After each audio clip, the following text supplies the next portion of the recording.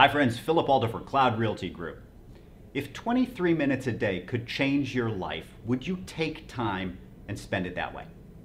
I think the answer is yes. And those of us at Kloud Realty Group practice what we call 23 minutes to win it. It's a simple daily routine that helps us start our day, helps us energize our day, makes us more productive, and helps us face the day with power and energy that we didn't have before.